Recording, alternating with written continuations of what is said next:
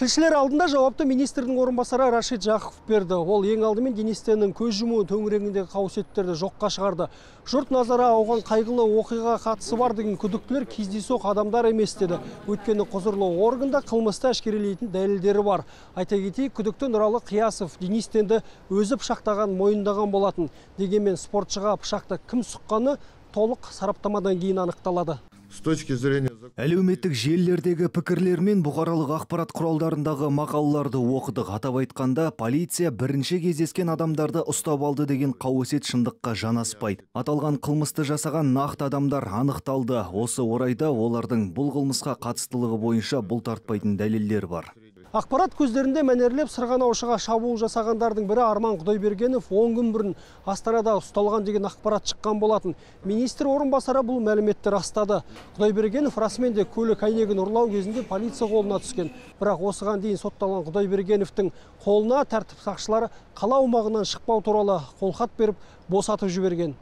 Настоящее время. Расында да арман құдайбергеновті астаналық патрульдік бекет жасағы 11 шілде күні көлік айналарын ұрлау үстінде ұстаған. Оған қатысты заңға сәйкес жеделдетілген процедурада сотқа дейінгі тергеу амалдары басталған. Бұл процедура бойынша тергеу 15 күнде жүруі тиіс және бұлтартпау ретінде тіркеліп отыру шарасы қолданылған. Тіркеу міндеттемесі күдіктінің қалаларға баруына шектеу салмайды тек белгіленген уақытта келіп тұрса жеткілікті.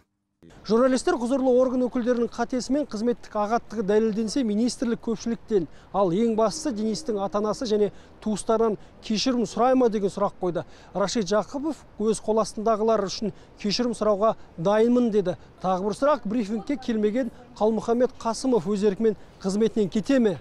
Айта кеткен жөн елді дүр сілкіндірген оқиғадан кейін мәселені алматы қаласының қоғамдық кеңесі де талқылаған еді.